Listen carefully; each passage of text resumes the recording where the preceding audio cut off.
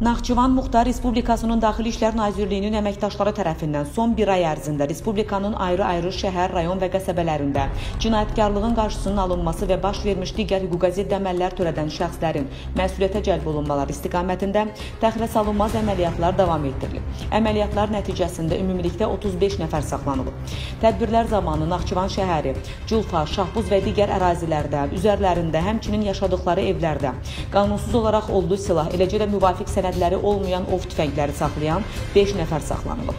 Bu şəxslərdən 5 ədəd toz, İJ markalı müvafiq sənədləri olmayan tüfəng, 1 ədəd Kalaşnikov avtomatı, 1 ədəd minaatan partladıcısı aşkar olunaraq götürülüb. Qeyd edilən dövr ərzində narkotiklərin satışını təşkil edən və Naxçıvan Muxtar Respublikası ərazisinə narkotikləri qanunsuz olaraq kargo vasitəsilə gətirən ümumilikdə 17 nəfər saxlanılıb. Həmin şəxslərdən külli miqdarda narkotik vasitə və psixotrop maddələr aşkar edilib. Hesabat dövründə həmçinin Naxçıvan şəhəri və digər bölgələrdə silsilə mənzil oğurluqları, təmir tikinti ləvazimatları, avtomobillərdən akkumulyator, eləcə də digər ehtiyat hissələri oğurlayan və dərəduzluq əməlləri törədən İlkin Əliyev, Talih və Sada Hüseynovlar, Əli Sübhü Abbasov, Yasin Qəribov, Məmməd Hüseyn Rüstəmov, Faiq Kazımov, eləcə də restoranlardan birindən 2 ədəd post terminal və pul oğurlayan Burxan İbrahimov saxlanılıblar.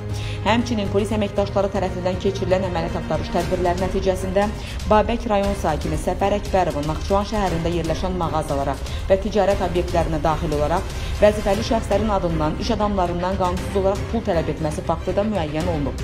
Culfa rayonunda polis əməkdaşlarının keçirdikləri əməliyyat axtarış tədbirləri zamanı isə rayon sakini Şirzan Məmmədov və Nadir Ələkbərovun su sayğaclarına qanunsuz müdaxilə etdikləri, eləcə də pul müqabilində sayğaclardakı göstəriciləri silmələri faktı da aşkar edilib. Qeyd olunan faktların hər biri ilə bağlı istintaq və əməliyyat tədbirləri davam etdirilir.